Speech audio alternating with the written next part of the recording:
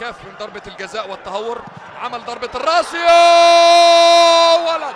يا ولد! هو دالة مالها إلا دالة take it easy take it easy من جديد عاد دالة يا عزيزي.